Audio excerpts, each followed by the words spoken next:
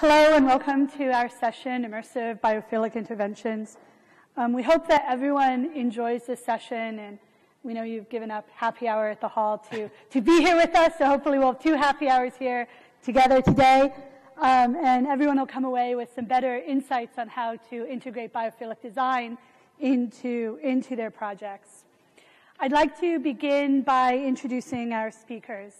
Um, on my left, we have Bill Browning, the founder of Terrapin Bright Green. He's passionate about the interaction of the built environment and natural environments.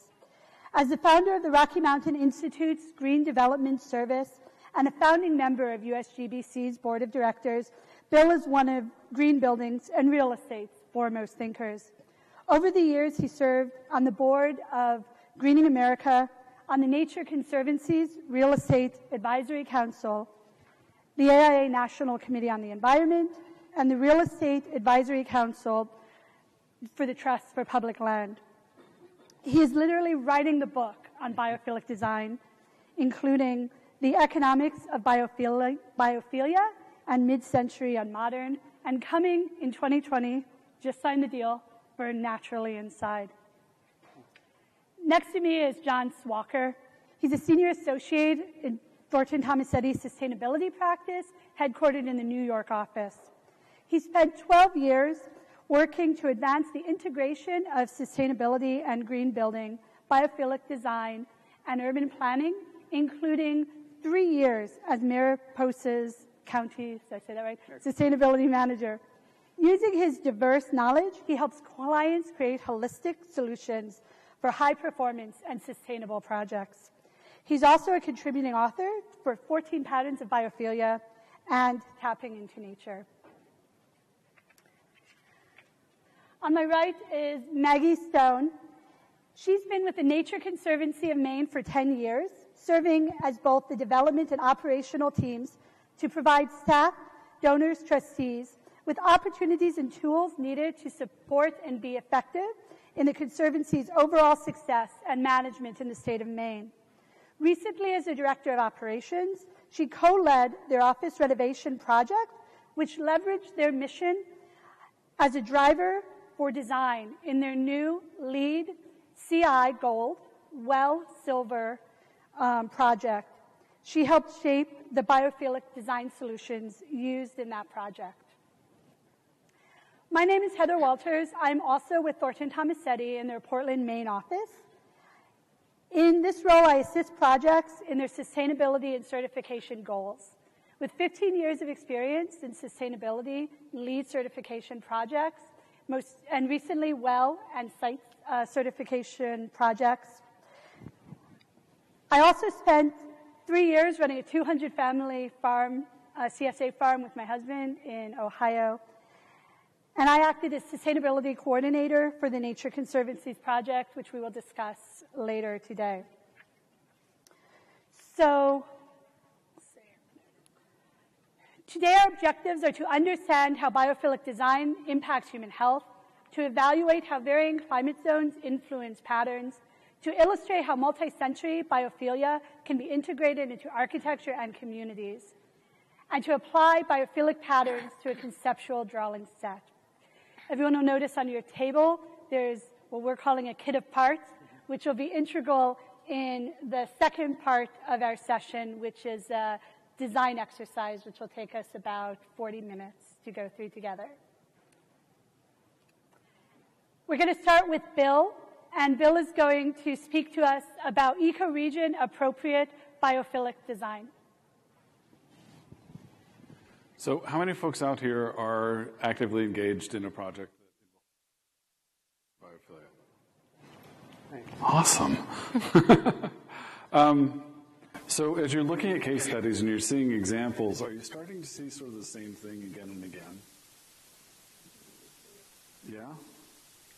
So one of the things in the conversation that, that helped lead to this session was a realization that biophilic design can really be an opportunity to tie people to the ecology of where they are.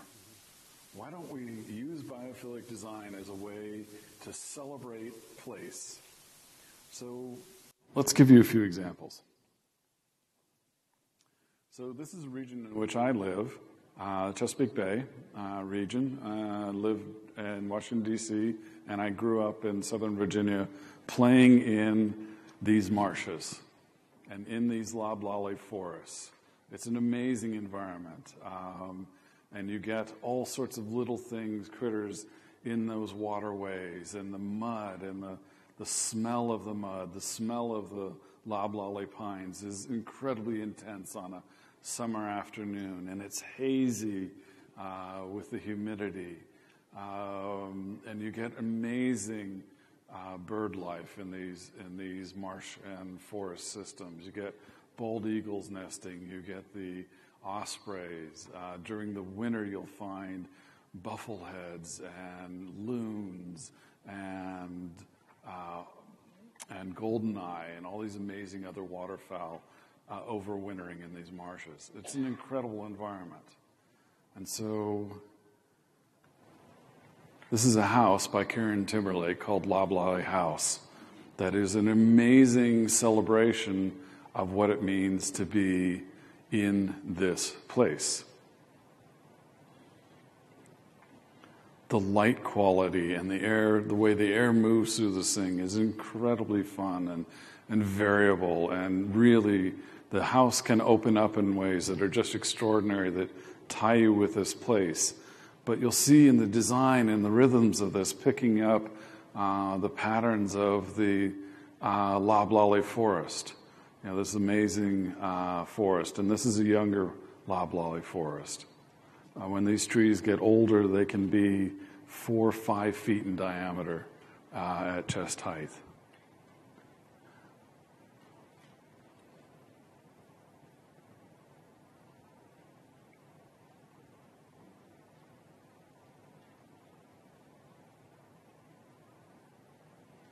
So, this is another place this is Johnson's home territory uh, and a place that I absolutely love and, and enjoy doing projects in. Um, and so this is, I'm going to show a project that we got to involved in in uh, 1990, 91, and 92. And so this is a region, this is the area around Santa Fe, New Mexico. So the ecosystem type is a semi-arid uh, steppe climate. Uh, the predominant trees in this system are um, pinyon and uh, Rocky Mountain juniper, both of which are amazing resinous trees that have this incredible scent. Um, and the pinyon, when you burn it, is just unbelievable. Um, the understory is sage and grasses and uh, gilia flowers and uh, um, and other and some cactus. Uh, amazing, amazing ecosystem with a very, very long history of human habitation. And so that serves as the inspiration for uh, this hotel, the Inn of the Anasazi, uh, in downtown Santa Fe. Now, I have to say that this building didn't start off as this incredible biophilic exercise. The original building was a 1965 international style steel and glass box. It was actually the state penitentiary office for the state of New Mexico. And the back half was a juvenile detention center. So maybe not the what you would expect to turn into a, a five-star hotel. And so wherever possible, they thought about the design as a celebration of Santa Fe. Not Albuquerque, not Phoenix, not Taos, literally Santa Fe. Materials were as much as possible locally sourced. Artwork were local artisans. Furniture was made uh, by local artisans. And so the check in desk um, is based on a uh, petroglyph design. The doors, which you can see a little bit there, are based on Navajo blanket patterns. So they were celebrating um, the Anasazi, or as the uh, Hopi called them, the uh, ancient ancestors. It's not. Um, Anasazi is the um, is actually the uh, Dine name for them. Um, so this is Bandelier. This is a abandoned cliff dwelling nearby. Here you can see artwork, and the artwork isn't just um, from Native American cultures, is also celebrating the deep Latino history of this place and some of the Anglo history of the place. And here you see one of those doors made by the local artisan. The stonework that the Anasazi did, particularly when you see it at Chaco, is extraordinary. Dressed masonry, cut blocks, incredibly precisely placed. Now, what's wild about it was when the Anasazi lived here, it was all covered with plaster and painted and amazing patterns. So the stonework in the building itself replicates specific time periods of the Anasazi stonework. There are different forms of that stonework. And up on the upper floor, um, they replicate something that occurs in desert areas in a number of places in the world, but particularly in New Mexico. And that is where you get these little waterfalls and little seeps forming a water feature that totally changes the thermal experience of that place. Thank you, Gail Brager. Um, and, uh, and you see these amazing um, outcroppings of fern, little maidenhair fern, in the middle of this intensely hot, dry desert. And so it's a celebration of this contrast between the incredibly dry and the riparian zones.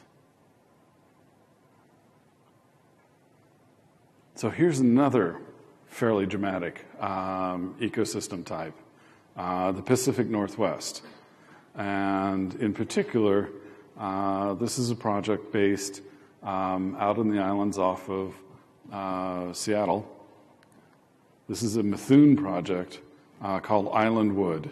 And if you ever get a chance to visit this place, it's extraordinary. It's an environmental education center.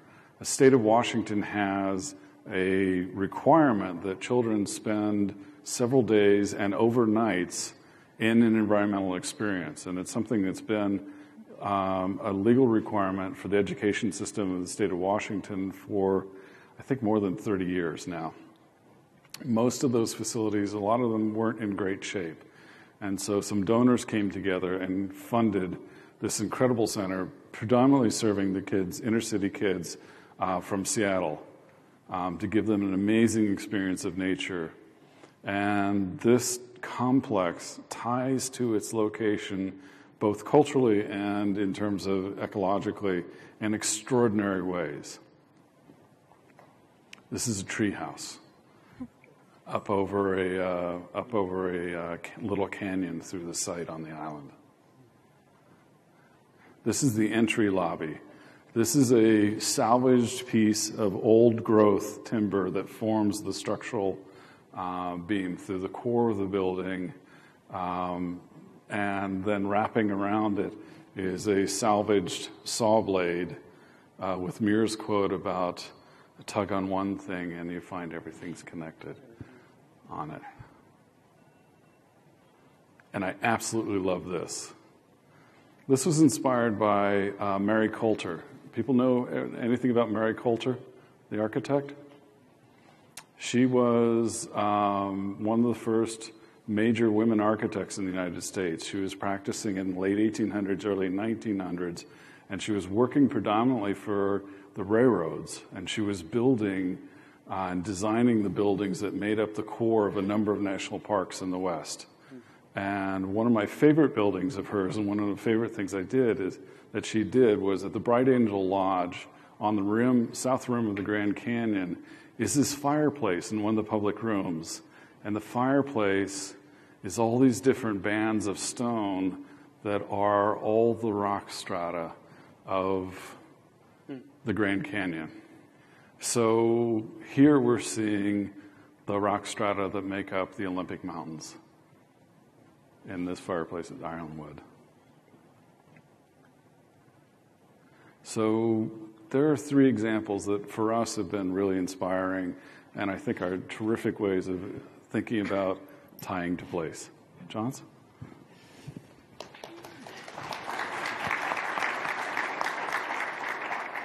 Well, it's so hard to follow Bill. first of all. and I can say like my career is now peaked for sh- sharing a stage with Bill. Um, I've looked up to him for a long time, and it's really fun to, to be here with him and everyone else. So I'm going to shift a little bit and talk about um, how biophilic design and biophilic interventions are scalable. I think uh, a lot of times we uh, think that the gesture has to be really massive to be impactful. So I'm just going to show some examples starting at sort of large scale interventions and then kind of tune it down to smaller examples that will hopefully inspire you for this exercise, but then on all the pro- projects you're working on.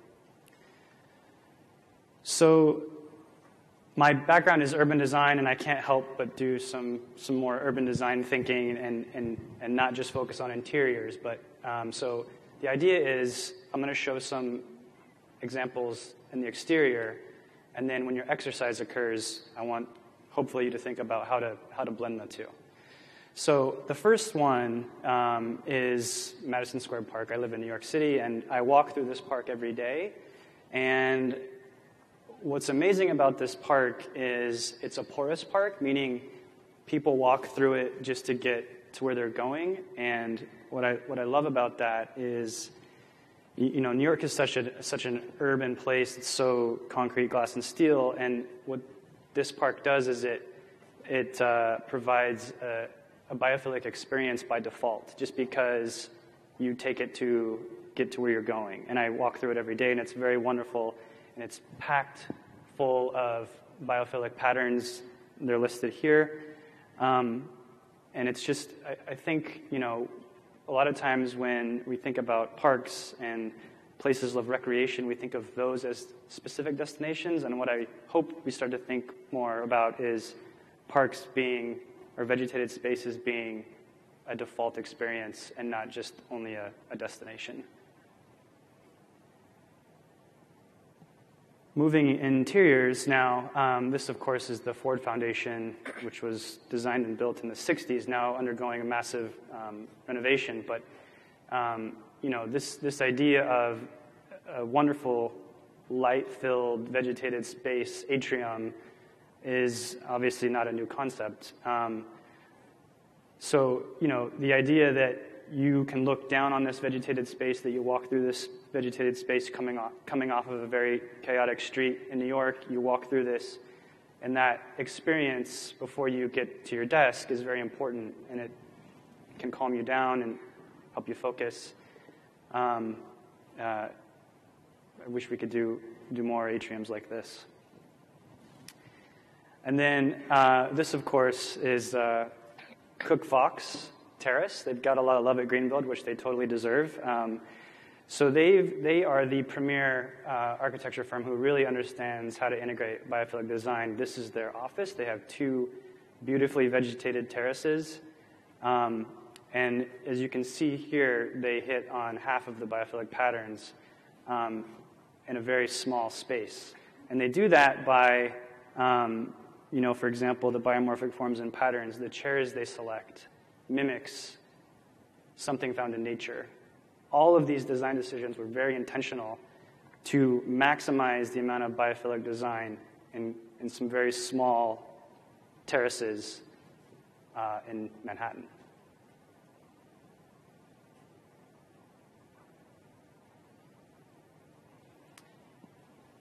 Um, I feel like this is probably the most quintessential image of biophilia. Everyone's like, oh, just do a green wall and you're good. But um, it's, of course, more, way more nuanced than that. But I just wanted to say, like, green walls have come a long way, and they can be very, very simple now and very, um, very easy to maintain. It's no longer very complicated, it doesn't have to be a very complicated system, but just integrating um, green walls, um, you know, again, is a very strategic and powerful um, biophilic intervention. Just being able to see green especially in climate zones that have very harsh winters, where everything else is hibernating, all the leaves are gone. But being able to see a space like this uh, every day is, is really important. This is one of my favorite um, interventions. So this, this is in the Gowanus neighborhood of uh, Brooklyn, New York. Um, And this was done by uh, a partnership with actually a developer architect and then some other uh, nonprofits, the Gowanus Canal Conservancy. And what they did was they took these, well, they're, they're, they're roll off dumpsters, really, 3,000 gallon capacity, and they planted them and they, straight, they placed them strategically around this part of the neighborhood. And it does several things. One, it's, it's biophilic. You, you get to see uh, uh, nature, trees, greenery in a place that's actually still pretty industrial. Um, but the thing that I really love is the, is the co-benefits of this, which is it's trying to communicate the value of bioswales and green infrastructure, saying a bioswale has the ability to treat 3,000 gallons of rainwater runoff just through green infrastructure. So it actually does several things. And it's also temporary. So, you know, this, this, doesn't, this is no longer there, but that's also interesting to think that like a biophilic intervention doesn't necessarily have to be a permanent high cost thing. It can be something that's temporary and hopefully inspire change and hopefully, you know, move to a different neighborhood. And then this is just a, a simple cork wall treatment. So literally, uh, cork bark, which is just harvested from cork trees, doesn't harm the tree, is literally uh, transformed into a a wall treatment. And so you have the very tactile feel of a tree, but it's also very beautiful. It's, it's, it's got some, um, some, some patterns and some depth and some, some interest from seeing something like this in a space. I know it's here to sell you a product, but it's, it's sort of a wonderful gesture, and it's very simple.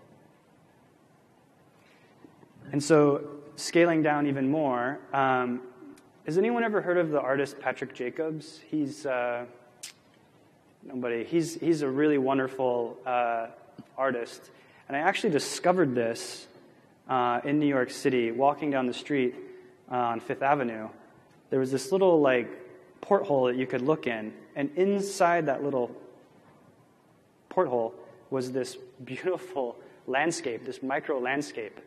So what you see when you look through this it, it feels like you are, it's like the sound of music or something. It feels like you're like on this rolling meadow and on this hill.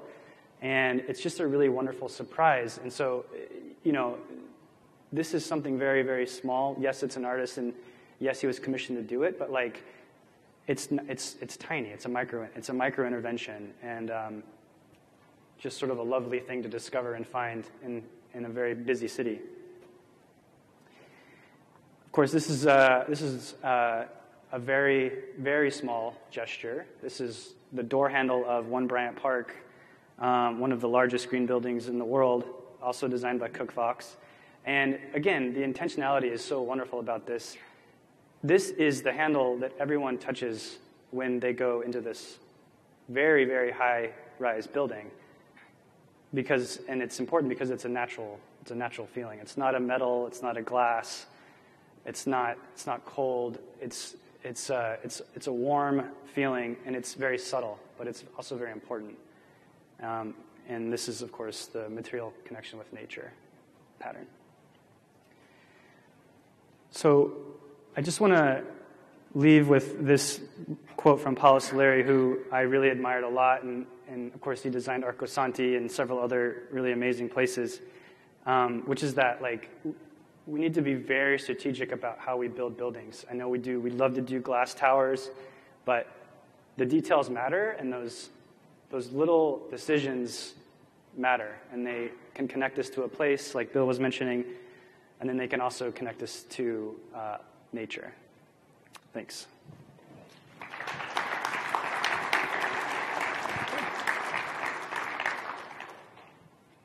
Okay, so now comes time to start talking about the fun part of, of today's exercise. So please don't open them now, in a second. But on everyone's table is a, um, is a kit of parts, is, is what we're calling them. And each kit represents um, a different ecoregion. What we'd like to do is, is there a couple tables, like little tables in the back, where only a couple people can sit and only every other one of you have a box. So perhaps you could pull together two tables in the back um, so you can share, share your boxes. We have four ecoregions represented, and the boxes for each is the same within, you know, that four, within those ecoregions. So I thought I'd just give you a really quick rundown of the four ecoregions that you have. The first ecoregion is the coastal pine barrens. So this region runs um, along the Atlantic coast and is uh, temperate coniferous forests. It's distinguished by pretty nutrient-poor soils and um, and pine trees, and is um, you know there's there's moss. It's kind of a very um, kind of a very closed-in kind of space. It's a very very unique area. The next ecoregion we have represented is the California coastal area. So this is an entirely different ecoregion. It's a, um, it's a region that changes throughout the year, right? We have times when it looks like almost a desert and times when it blooms. And that's kind of what, in my mind, makes this region kind of, you know, really, really a special place. To be. The Burr Oak Savannah is actually an ecoregion from the Midwest. It's the area kind of in between the kind of arid west and the coastal uh, forests in the U.S., right? It's kind of in between. Mm-hmm. And the oak savanna is uh, traditionally a prairie um, ecoregion, and it's traditionally fire dominated. And designated um, a lot of times by these kind of signature trees, which you'll find in, in, open, in open areas. The final ecoregion that we're exploring today is the Sonoran Desert. Right, so this is a massive ecoregion that takes up about half of um, Arizona into Southern California and then down into Mexico. It's a pretty significant, it's a pretty significant ecoregion, um, and is um, and is one of the most biodiverse desert ecosystems in the world. So it's a again, it's it's a it's a beautiful place. So the first part of our exercise is going to be exploration. So we want people to understand their ecoregions. Personally, if you've been there before, perhaps share experiences that you've had in those ecoregions with other people in your table. We have a couple tables that only have a couple people in them. Perhaps it would make, if you want to go to someone else's table so you have more people to talk to, that would be fine. Um, we want you to talk about what's special about your ecoregion. If you have any memories, right, this is a time to talk about stories and feelings that these regions bring up. And might, maybe from times you've been there, people you know have gone, or just from what you find in your, in your boxes. So in your boxes, you will find, for each ecoregion, a couple page description of the region so what is this region, um, you know, ecologically, right, and geographically? You'll find a page with QR codes. If you scan those with your phone, you'll go to, um, it'll bring you to YouTube videos where you can hear sounds of your region. So you can hear what your region sounds like. In each box, there are physical artifacts of your region. So one or two things to give you a tactile experience of your region. And in each box, there are also a couple essential oils, one or two oils or scents that are critical to your region. So, our, and then of course photographs. That's what we would expect to be exploring, right, our, our photographs. But by giving this wide range of, um, of senses, we're hoping that you'll be able to get kind of a wider idea of what the ecoregion is and perhaps some more emotional connection or maybe bring up memories mm-hmm. for the ecoregion. So the first part of the exercise, we're just going to spend a few minutes. We're saying five minutes, but you know we'll see how it goes. And we want you to just open up the box, see what's in it, smell it, listen to it, look at it, um, and just kind of talk with each other about the region for five minutes. So you may open your boxes now.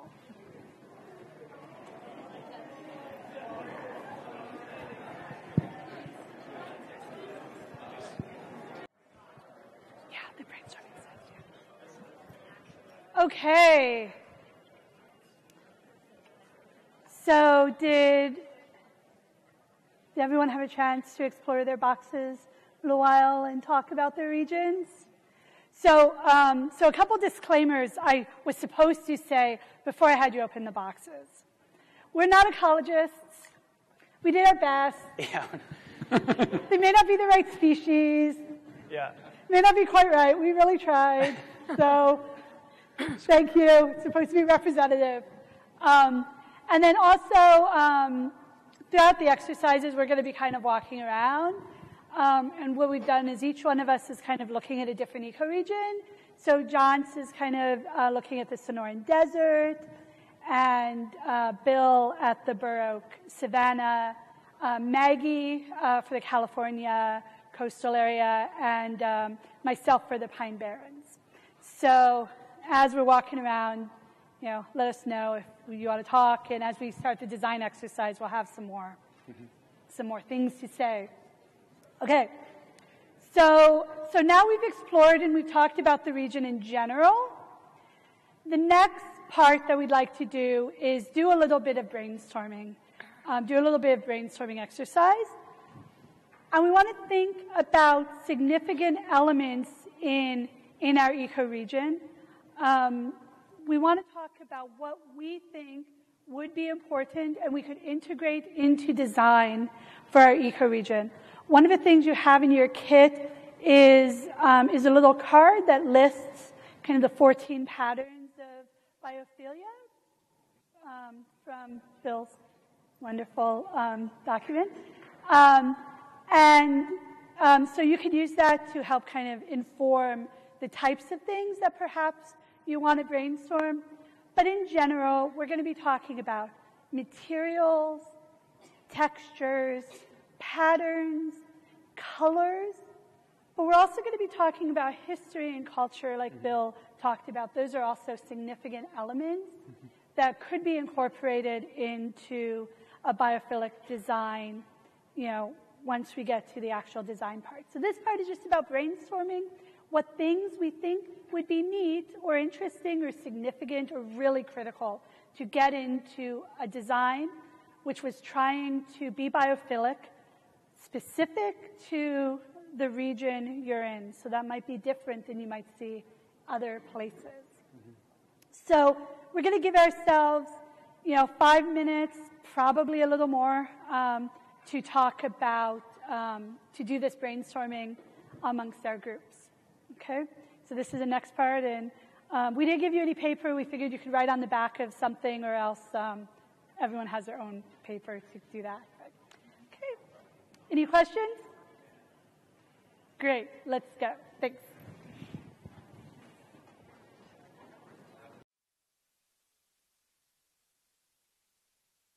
Talking, there we go, about our ecoregion um, now's the time to actually start thinking about how to integrate that into a design. Great. So I'm going to explain um, sort of all this brainstorming and all this discussion. The buildup is for this. And so you have on your table uh, a, a, typical, just everyone has the same one, floor plan um, of, a, of a very basic uh, design. Um, and the idea is you're going to work with your table and uh, you have an elevation and a, a, large elevation just so you can kind of get the scale of what the building should look and feel like. Doesn't have to be, we're not trying to throw out crazy design here, but um, just so you can get a sense.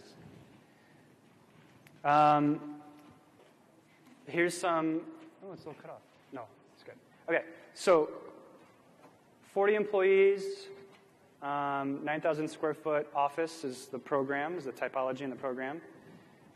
The client is ecologically minded. They're a 501c3. So the, the question is, what are the biophilic design interventions that you can include in this, in this building that connects you to your ecoregion? Okay? Does that make sense? Is that, is that clear? I'm going to show you an example. So um, you, have, you have freedom to do whatever you want to do with this. You can move walls.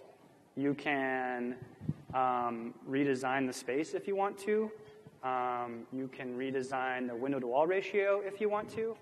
Um, it's really kind of your whatever you want to do. So here's just like a quick, we just sketch this like really quick, an example of like what you're going to show on the plan. So the idea is, let me see if I have a little pointer. I do. So we just splashed up a few things um, to give you an example. So, so let's start here. So this is the lunch break room, and we said, what if you did worm compost here? And there's an olfaction element to that, good or bad. Uh, and then there's a connection with natural systems with this intervention. That's kind of a fun one, kind of a gimme. Uh, then we said, well, what if you did a cork bark wall here in the large conference room? It's tactile, material connection with nature is the pattern. What if you did some oil diffusers here in the, in the restrooms? Uh, what if you changed um, the carpet tiles to mimic something found in nature, whether it changes colors or something like that to mimic that? Uh, maybe you did a little water feature here in the middle.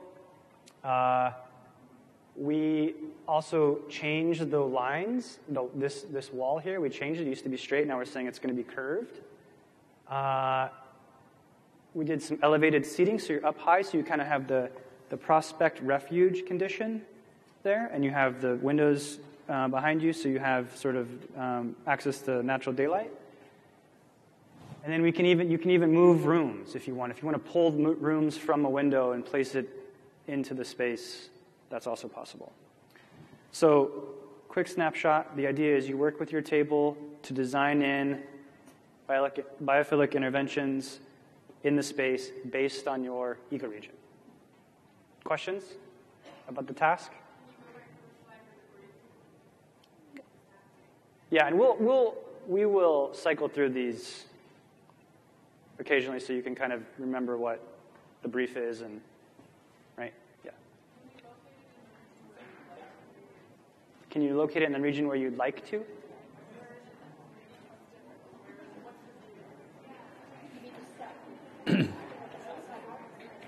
site, the exterior. Your site with, is within your ecoregion. Yeah. So, yes. Yeah. Yep. Cool. Okay. And um, if anyone needs trace paper, we have a couple, we have a little bit.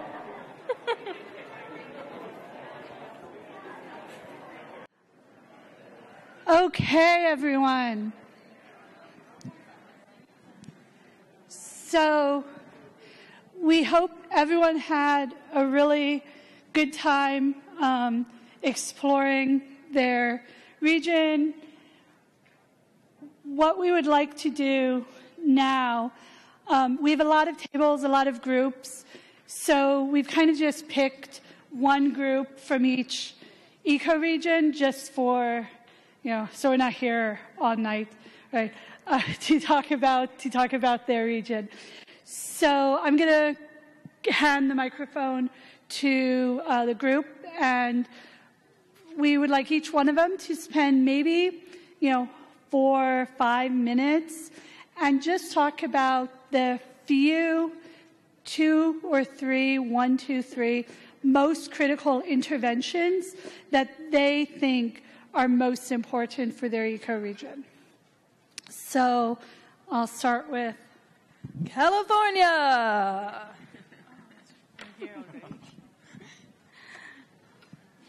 All right, so our ecoregion was the California coastal sage chaparral, and um, there were six things that we wanted to focus on. One was uh, textures, uh, smell of sage, and all of us literally applied the sage essence on our on our wrist to take the smell along with us. Uh, seasonal transitions because you have more of the mountains, and then you have it gets dry, and then you see plants sprouting. So then the seasonal transitions to be able to uh, see that in the space as well. Um, there's also uh, the burning of the wood. So, so we wanted to represent that. We actually put a fireplace in our space, some place to burn, and um, and kind of blur the insides and the outside. So kind of just open up the space and get more of the outside into the building. Uh, some do we have to go with some design ideas maybe? Oh, yeah.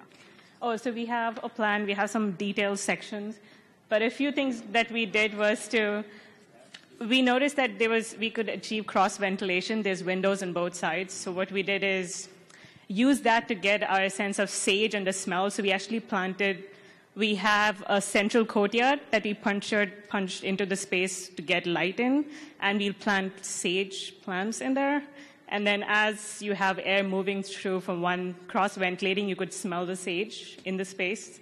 That was one design intervention. Another one was to have screens to allow for that.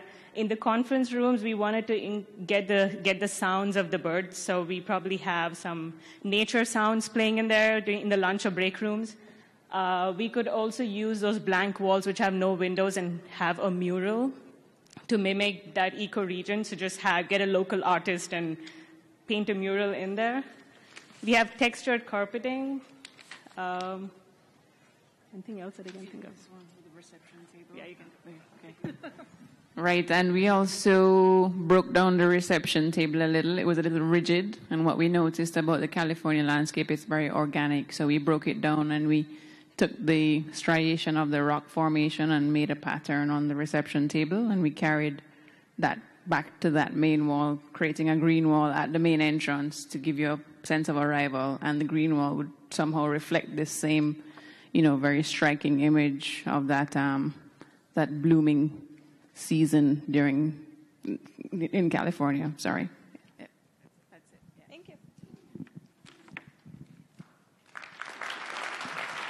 Okay.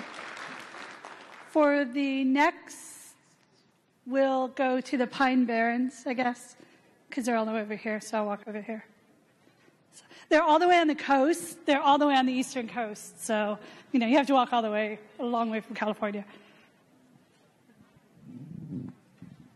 Thanks. I'm going to let my colleagues here do the intro. Uh, we basically, just uh, to let you know, as a group, we decided to open up the windows around the perimeter, let the light and air of the natural system come in, and have some interior features.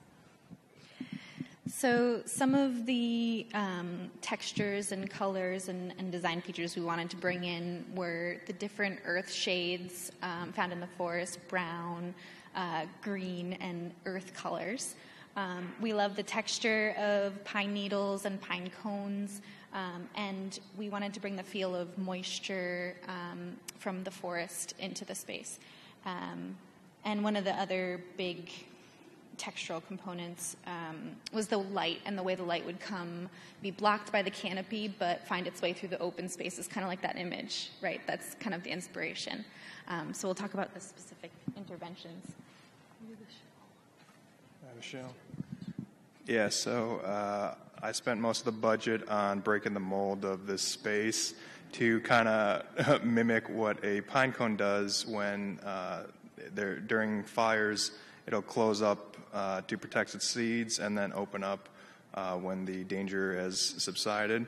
So I just pretty much wanted to do that with large panels, uh, kind of opening and closing based on the weather, as well as creating a passive cooling system. Um, so that's. And for the interior, we um, were looking at several of the patterns of biophilic design.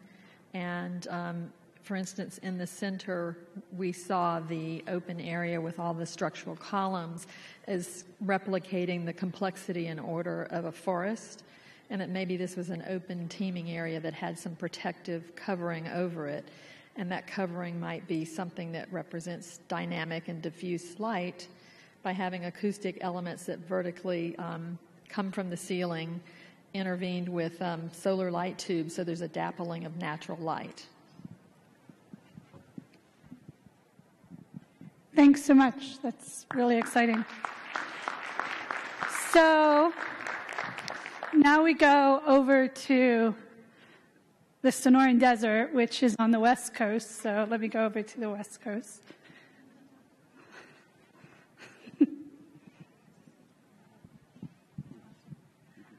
Um, so we looked at the Sonora Desert and um, we looked at what was in the box. We talked about our experiences and what really drew to us to the space was we wanted to open everything up, first of all. We didn't like any walls. We wanted to make it as fluid and open as possible.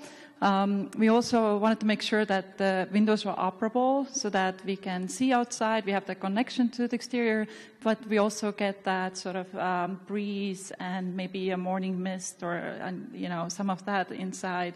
Um, all the um, items inside would be sort of in an organic shape.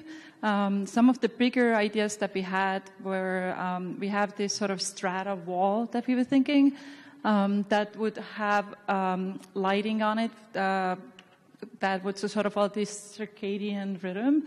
Um, and in the center of the space, you see this sort of big blob. That will be a space where people can come, where they can retreat, relax, um, and also reconnect with other uh, people or colleagues uh, who work there. Um, and then in terms of conference rooms, we thought this is where we can bring in some culture. Um, so instead of calling a conference room conference room one, two, or three, we wanted to sort of give each one, each space, its identity. Um, and we thought the best way to do that is if we, let's say, connect it back to the culture of this place and say, conference room that's a Navajo room or a Hopi room. I hope I'm saying the right names here, so excuse me. um, and they, w- they would also display the art, and it could be sort of rotating art, right? So that just gets uh, changed out as um, um, uh, new things come in. Did I miss anything? Um, oh, and then we talked about the sound. Sorry, that was another big sort of design um, aspiration for us. Was when you open the windows and let's say if it rains, um, that you can hear that rain, and maybe we have some features on the exterior wall or on the roof that sort of give that softness of the rain, and we can sort of um, direct it in a way that it doesn't sound as harsh, but sort of soft and and um, relaxing.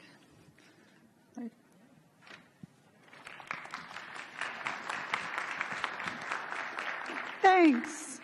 And so we're missing the, so now I have to go to the Midwest. So that's over here. To the uh, Burr Oak Savannah.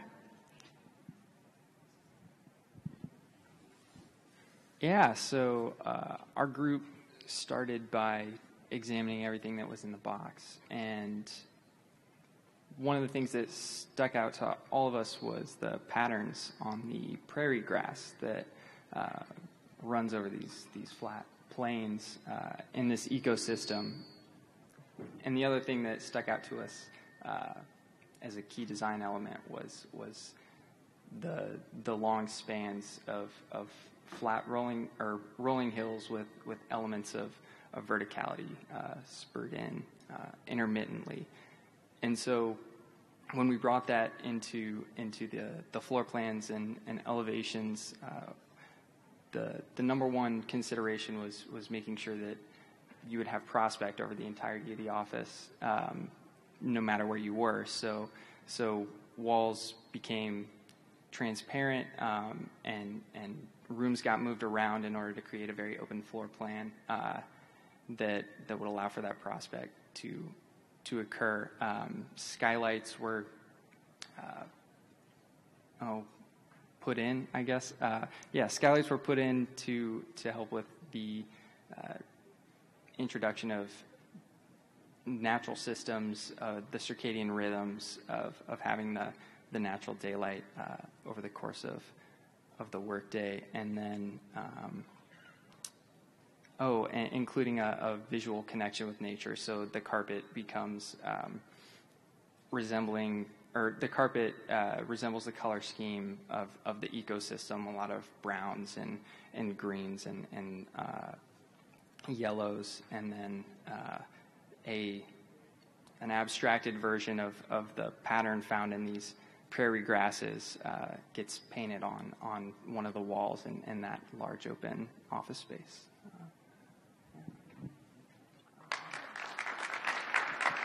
Thanks so much. Okay, so now for the big reveal. Spoiler alert. Spoiler alert. It was my actual office, that dud of a space.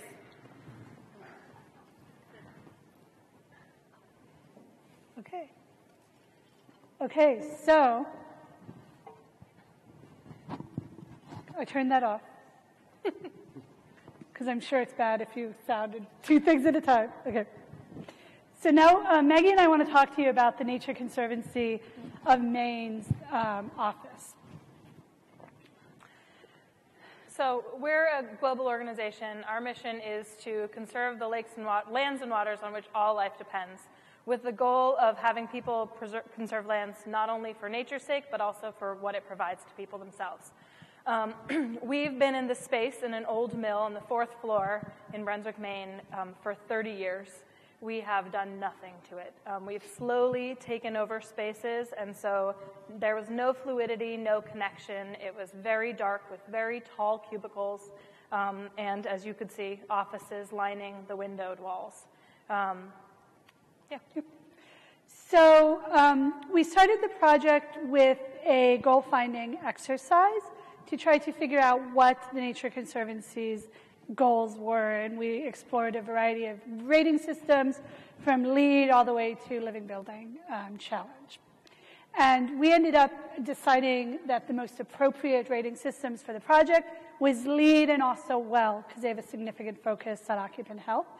At the end of the day, the project um, earned a LEED CI Gold rating and a WELL Silver rating, the first WELL project in northern New England.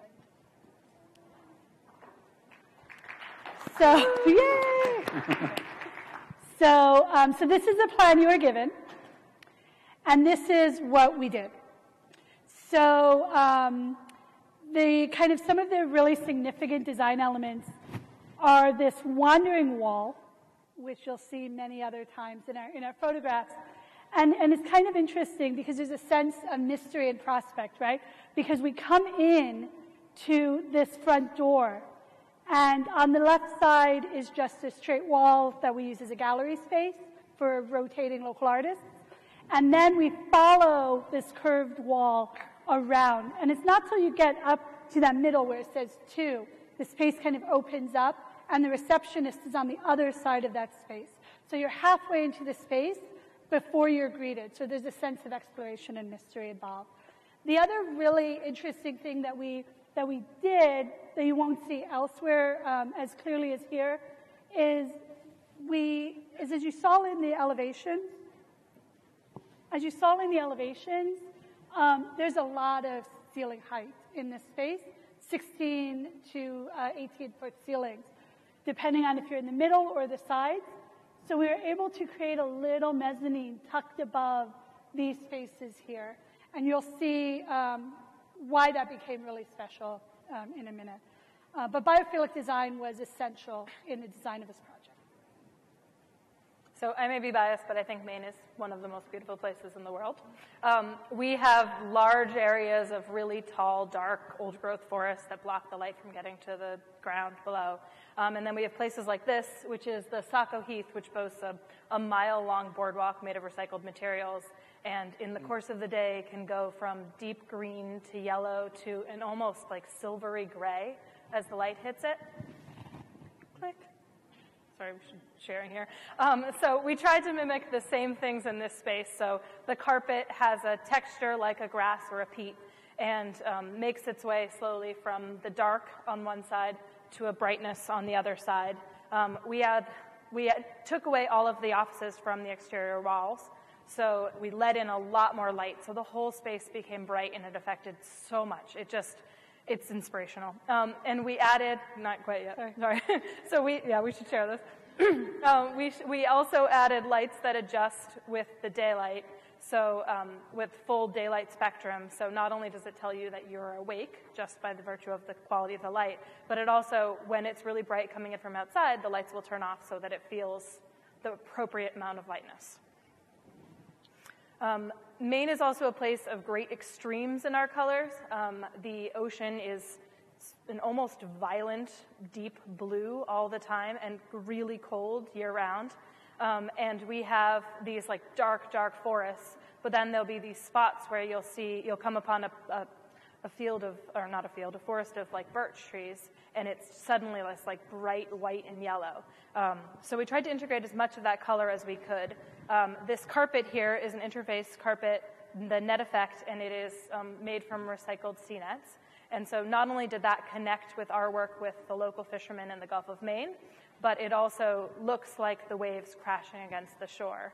Um, and in this case, crashing against the yellow birch of the Wandering Wall. So it's this stark contrast of like the violent waves against this brightness. Um, all of the colors that we used were colors that you would find in nature. So there's the still pond of the kitchen behind, and then below is the fields that I just showed you um, with little pepperings of other green growing things and um, tiny elements like a corkboard that is actually a berry color to show all the fresh berries you can find. Maine is a state of forests. Over 80% of the state is forested. There are 2,000 trees in Maine, over five inches in diameter for every person in the state. 3.2 billion trees in a state of 1.3 million people. There are a lot of trees in Maine. So, so um, the Nature Conservancy manages 1.7 million acres of land in Maine, much of that FSC certified forests. So we were able to harvest um, yellow birch for the Wandering Wall from the Nature Conservancy's own FSC certified forests, and maple for the flooring in the raised flooring area up here in the steps and conference room, again from, from their own forest. So we were able to utilize their own wood in the space and utilize it in this way where this wandering wall starts off as solid, as, as, as it progresses through the space, it becomes more transparent and starts to open up to kind of let light through it. Maine is also not a state of straight lines. Between our rivers, our mountains, our lakes, and our meandering coastline, there's a saying in Maine, you can't get there from here. and if you've ever visited Maine, you know that's true because it takes forever to drive absolutely anywhere. And it's because the state itself resists straight lines. And we've mentioned this wandering wall a few times. It is the central organizing um, element of the space, and it was designed to follow, reflect the flow of the river down below. This building is sited kind of in a little peninsula on the crook of a river, and so the wall reflects the river below. Um, when you're having a bad day in Maine, you just climb a mountain. Mm-hmm. Um, they're everywhere. They could be like, you know, 300 feet, doesn't matter. You just climb it. You can climb it in a dress. You can do anything. So I do that a lot. Um, one of the main reasons why we decided to stay in this fourth floor old mill building is because of the beautiful view. So we looked over the river and previously it was just, it was blocked to most people. So unless you were in one of those private offices, which I was not, or in one of the cubicles that lined the other one, which of course had the spine going the wrong way, so you couldn't see it. Um, you didn't get to experience the eagles and the sturgeon and all of those things that when you see are just inspirational and remind you of why you work for the Nature Conservancy. So, we broke that down. As I said, we took all of the offices away from the windows and we gave as many sort of nooks and crannies for this view as possible. Um, our conference rooms, which are tucked under the mezzanine or against the walls, are away, away from the walls a little bit, are all glass so that it blurs the line between inside and out. And so you can be in a conference room and having a beautiful view, and directly outside of you, there can be someone, you know, reading or thinking or doing whatever people need to do. Um, we made as much space as possible so that all of the common areas are now along the windows, and there's no one who is up against a window hogging that view for themselves. Um, we also have when you're when you're out and about there's you look up there's a canopy of trees or you know the ocean above you because you're swimming in it like me if you're an insane person who swims all year. Um, so we tried to integrate as much of that into our office as possible. Um, the conference room has these sound clouds that are supposed to mimic the canopy of the trees. Um, they, you can also see them in the kitchen and so when you're in the mezzanine looking down on the kitchen they look like lily pads so it sort of changes as you move about the space. Um, we also have the, um, the, the, old columns that are supporting the roof of this old, really old mill building remind you of the tall old growth forests, and we tried to emphasize those as much as possible, um, not trying to hide them like a lot of the architects would try to. We're trying to like encase them in some sort of walls, and we're like, no, we want those as much as possible. So we really tried to play on those motifs.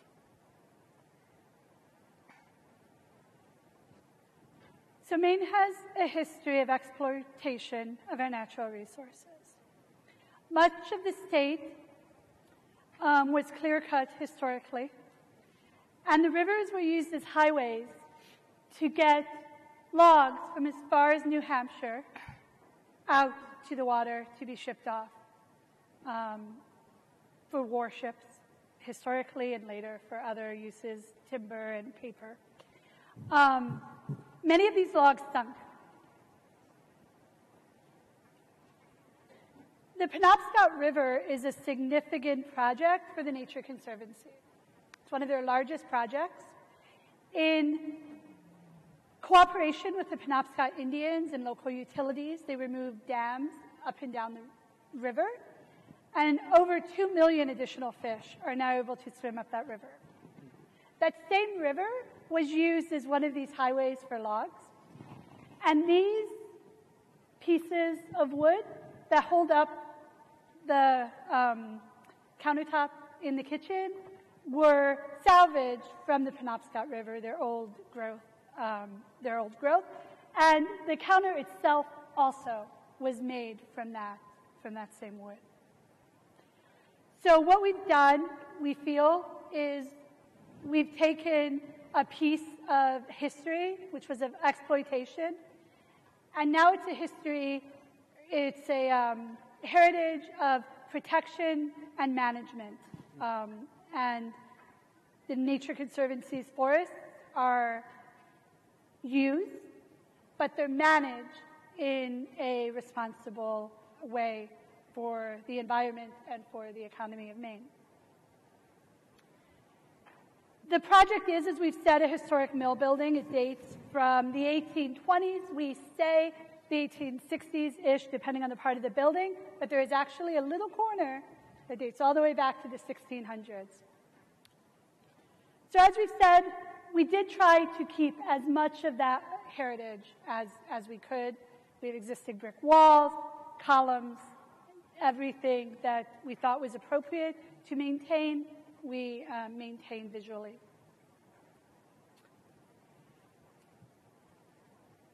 Maine is a really, you can tell we love Maine. Maine's a really special place. Um, you find things like this around every corner almost. And actually, there's bald eagles nesting right outside of the Nature Conservancy's office. But it's not unusual to be paddling down a river and to come around and find a bald eagle's nest. These types of spaces are not unusual. We wanted to have a little bit of that feeling, and that was one of the drivers of the mezzanine, is this nest area that kind of sits above and lets people have that view and look out over the rest of the space. So one of my favorite spots is in the Debsconeag Lakes Wilderness, which means carrying place. And um, you follow a trail, not unlike this, though this is not that actual trail, um, up these steps that had to be man-made because otherwise they were just not travelable. Um, and then you get to this cave and you crawl down or climb down into this magical little space. And it's really narrow and you're a little nervous because you're like, what am I actually doing right now? And then you get to the bottom and it opens up into this beautiful, huge ice cave that looks all blue and white and just, it's just a magical space. So there's magic in these spaces where you don't really know what you're getting into, but it's worth the risk. So we tried to imitate that in our space with the mezzanine, um, especially. And so you climb up these stairs, and they're really narrow, and they wrap around the wall. Um, and then you get to the top, and it opens up, and it's all of these fall colors up there, whereas everything else is these, you know, rich, rich greens and blues. And so you get up there, and it's like the rust of a Maine autumn, and it just sort of feels like you're in a special spot. Um, likewise, as Heather was explaining, when you come in, the, you sort of walk up this pathway for a long time before you're actually in the office. So the wall brings you in and around before it opens up, and then you stand overlooking the entire rest of the office. So we tried to mimic that magic, and one of my colleagues works on the far, far side of the office, and there's another little secret employee door that we have. And every day he still walks in and puts his hand along that wall and runs it up just to feel the magic of that space. So, and it's been, you know, two years now, almost, since we've been in there. um, we also know that changing your location can change your perspective, so it's always good to be able to move around. Before, there were no places to move around in our office. You were either at your cubicle or your office, or you were in a kitchen that was smaller than this stage. Um, and so, one of the main things we wanted to do was give people different and new ways to work. Um, so we have not only did we add five extra meeting rooms by consolidating all of the center, all of the um, workstations into the center of the office, but we also were able to add all of these little secret places. So you know, there's, you can sit underneath the mezzanine or on top of the mezzanine, and there's touchdown spaces to sort of break up the way you work. And then the four private offices that we have, which are all for confidentiality reasons, whenever anyone's not there, we have big signs that say open so you can go in and use those spaces as well. Um, we wanted a space that would represent who we are as an organization and could show that we are able to be innovative thinkers who can handle the world's most pressing conservation issues with science and exploration, and um, we think it does. So in our lobby, we have this giant updatable map that showcases not only the breadth of the Maine wilderness um, with all of that green, and, but also shows all of the work that we've done so far. And uh, there's a little laser pointer below and a there's now a coffee table blocking part of the Gulf of Maine. okay. um, and so we have a, a, laser pointer, and so almost everyone who comes in is like, I've been there. The, how high have you gone? And so it's a really cool space. Um, and we think that not only does this show who we are and where we're going and what we have left to do, but also you can see in the carpet there's the Gulf of Maine, and in the wandering wall there's the St. John Forest, and in the kitchen there's the Penobscot River. So it really tells the story of of all of the work that we've done in all of our partnerships. So, so thank you very much for listening to our little story. So um, we'd like to take um, a little bit of time and answer any questions that anyone might have. We have a have a microphone that we can bring around.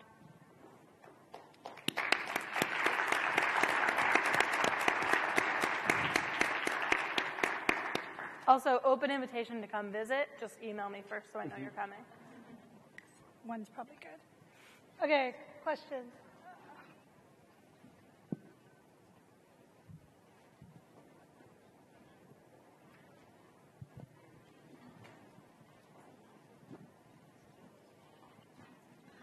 Um, where did you source your light fixtures throughout the space so that they complied with the well light concept? The uh, I don't know about the uh, the casings for it, but the lights themselves are Lighting Science Group, and um, they they're the people who created lights for NASA um, initially, and then um, yeah, and then they did lights for the Chilean miners just to make sure that they could tell the difference between day and night. So, um, but they're really awesome lights. I've since outfitted my entire house in them too, so I'm i am a real convert. I love them. And um, also, it's, it's important to know technically that, um, that we met the light uh, precondition with the addition of task lights. With the addition of task lights, you're allowed to use task lights to meet the, yeah, so, so we use task lights too. So it's a combination. So I've got a little bit more of a philosophical question, but man, beautiful project, and I want to come to Maine. Chicago's not bad, but we don't have however many trees per person. Um, so, I mean, clearly what you did made a wonderful place to be. And as I go in my practice trying to integrate biophilic design, but I think about it from an ancestral standpoint of us hundreds of thousands of years living outdoors, and now we live all the time indoors. The question I'm asking myself is we do things that are better, but how much is enough? Really, for psychological health and stress and, uh, you, you, know, I mean, are we ever going to get to a point where we can quantify that or we can have a sense of, yeah, that's not just good enough, but really good? Bill? Um, so the neuroscience is getting better and better. Um, but we know that even just seeing a picture of nature will lower blood pressure and heart rate. If you look at that picture of nature for 40 seconds, your brain will shift into what's called attention restoration mode, which means the prefrontal cortex quiets down, and when you come back on task, your cognitive function is greatly improved. Um, and so that's just seeing a picture of nature. Um, we're seeing more and more stuff emerge out of neuroscience about different reactions in the brain and sort of the pathways that occurs. Obviously, getting out in nature is the best. Um, the, one of the reasons why we gave you scents and textures and all of that is what we're also learning is that the impacts are greater if I can experience those with more than just visual. Um, there are different neural pathways. Um, so, uh, one of the latest pieces of science that was kind of fun and interesting was uh, an experiment in uh, with mice, um, exposing them to uh, linalool, which is the predominant uh, chemical component of lavender. And what they found was it triggers the same neural pathways as Valium. So it literally reduces anxiety. Um, not if you eat it, not if you inject it in bloodstream, only as uh, scent receptors uh, in that neural pathway. So different thing, you know, so texture, uh, the thermal variability, light variability, all of that stuff is really, really crucial thinking about how do we replicate indoor as much as possible um, that variability in sensory stimulus that you get outdoors. But ultimately, I want you to get outdoors too. Any other questions?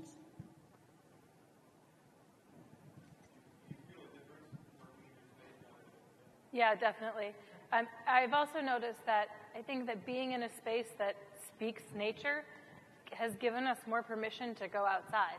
So we have a lot more of our meetings as walking meetings. It sort of gave us a reboot in a lot of ways. And I mean, we're all, I mean, we're in the Nature Conservancy. We all sort of live and breathe nature all the time. But it's amazing how much, you know, being indoors and just with head down, you don't, you don't look up. So even just implementing little tiny elements like the colors or textures, um, things that anybody can do on any budget um, are, you know, just ways to sort of reawaken you a little bit. Yeah, and it's important to note this was not a high budget project. Yeah. At all. So. I mean, it was to us, but. yeah, it was to you, for sure. well, thank you all very much for staying with us to the end.